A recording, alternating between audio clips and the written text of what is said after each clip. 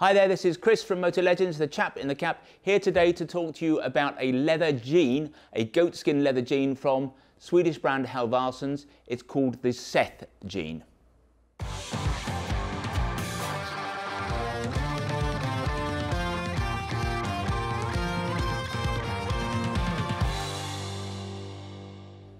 So this is the Seth leather jean from Halvarssons. Now back in the day, we all rode in leather. Jeans were not developed then. When I started biking, Kevlar jeans had barely been invented. Everyone had a pair of leather trousers. We didn't have knee armour, but they were deemed to be about as abrasion resistant as you could find. It was just part of the uniform. Over the years, leather got hijacked by the sports bike riders, so leather pants with sliders on and so on became very much the rigueur.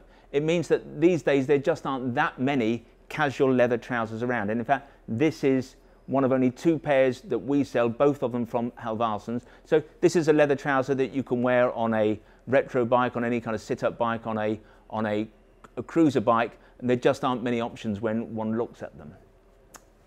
This is made from a washed goat skin. Now, we love goat skin as a leather for motorcycle wear.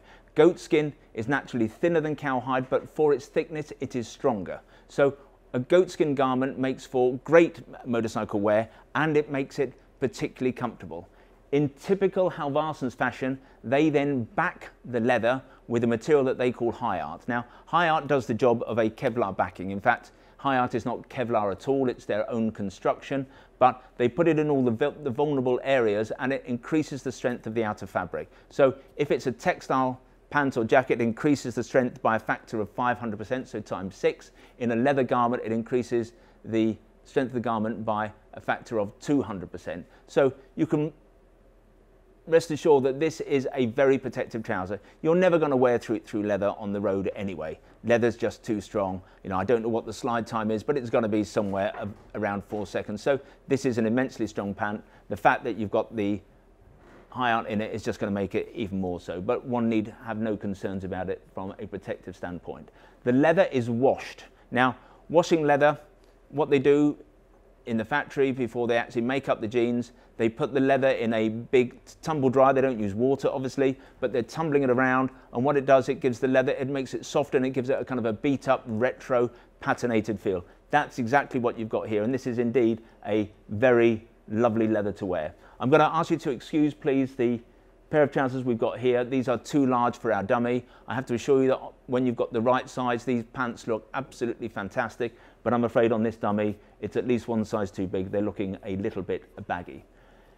In terms of protection, I've mentioned abrasion resistance, but obviously one needs impact protectors. These are AA rated, so you've got hip protectors, fixed hip protectors, you've got knee protectors. Halvarssons doesn't use D3O, they have their own armour. I have to admit, it's a little bit clunky, it's a bit heavy duty, it's a little bit old fashioned as armour. Clearly does, does the job, but it's not at the comfort levels that we've come to expect these days.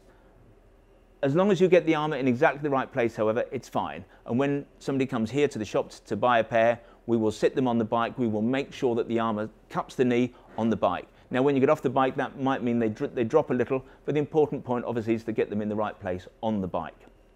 Once you've done that, it's perfectly fine. But there are softer armors around, and it's just one of the things that you have, have to accept with how Halvarssons. They do things their own way. In terms of the length of the trousers, they have what we call a raw finish. So there's no zip. These will not go over an extremely wide boot. They're meant to be worn with, I think you'll get a, a Daytona under, under these, but they're meant to be worn often with a slimmer or shorter boot. But there's no finish on the bottom. Again, when you come, uh, come to us, we will sit you on the bike, we will trim them, we will hem them. We always do that within the cost. They don't come in different leg lengths, by the way.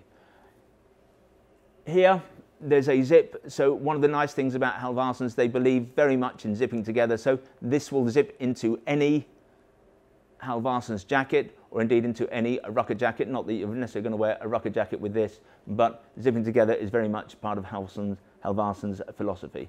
In terms of sizes, it comes or goes from a 30 inch waist right up to a 42 inch waist. There's also a ladies version. Price is 299. There aren't many jeans like this. I don't know of a, another single wearable leather jean, pure leather jean. So if that's the style you want, maybe you're on a cruiser, you're on a retro bike, you just prefer leather. And we tend to wear leather not because it necessarily confers any great safety advantages these days. We wear leather because we just like leather. And if that's your thing, this is a pant you've got to look at. At 299 pounds, it's a pretty good, good value pant. It's quite unique. So that was the Seth Jean from Halvarssons. Now normally at this juncture I say something like to see our entire range of leather jeans visit the website. However we do not have many more leather jeans. Leather pants tend to be a little bit more racing focused, sports bike focused. We do not do a lot of gear for the seriously addicted sports bike rider. We do do another leather jean from Halvarssons, that's called the Rider Pants. You may find one or two leather pants from Furygan, but there aren't many on our website. However, if you would like to look at this particular pant, the Seth pant, then click on the button top right. That will take you directly to the relevant page on our website. You can check out the specs, the details, the availability, and if you really like them, obviously you can order a pair there and then. Now, when you buy from us on the internet, we try to make the process as simple, straightforward, and risk-free as we possibly can. Nothing we sell on the website, no item of protective wear has any P&P charge. Once you've received something, if you decided that you just don't like it, if you change your mind, if it doesn't fit, if it's not what you thought it was, you, could, you can return that to us again at our cost. And what's more, we give you a full 12 months to make that decision. Now, we're not expecting you to take a pair of pants like this, ride around in them for nine months, send them back and go, no, they're not quite what I was looking for. We're merely trying to take the pressure off you. There's no risk, there's no rush to get anything back to us. The other thing we do, which we think puts us in a different league to anyone else in the industry is we don't give you a price match promise, we give you a price beat guarantee. So John Lewis, for example, has their never knowingly undersold policy, but what we do, if anybody sells anything that we sell cheaper than us, we will beat their price by 10%. So let's say that someone's selling a pants for 200 so we're selling a pant for 200 pounds if someone has those pants for 180 pounds we will sell you those same trousers for 162 pounds if the vendor is in Europe then we will match their price including P&P but in the UK we will beat it plus 10 uh, 10% there are a few terms and conditions on the website so if you visit the website, they're not at all onerous, but it might be best if you check them out first. You can, by the way, affect the price beat guarantee at the point of purchase, so you check it out before you buy from us, or you've got up to a fortnight after you buy to affect the guarantee. If in the future you would like to receive information about new products uh, from us via email, then if you go to the top of the front page of the website, there's a piece of script there that says newsletter sign up. Click on that, it takes a couple of seconds. In future, you will receive bulletins from us as and when new products become available. If, however, you prefer to get your information from us videographically, in other words, in this form, we would be delighted if you wanted to become a subscriber to our YouTube channel, and you can do that by clicking on the button below. One final point I want to make is we're also a shop. Now, we're based in Surrey on the edges of Guildford. The shop itself is pretty small. The footprint of the shop is small, but it's attached to our warehouse where we have three stories, two million pounds worth of merchandise. We can fetch anything from that warehouse in a matter of, of seconds or, or minutes. This is technically, therefore, the second largest motorcycle apparel shop in the UK. So if you're looking for a helmet, boot, gloves, whatever it is, you stand a better chance of finding those items here than you do in almost any other shop in the UK. It's a brilliant shop. It's a very funky little shop. We hope to hear you. We hope to see you here at some point. Anyway, this has been Chris at Moto Legends. We'll talk again soon.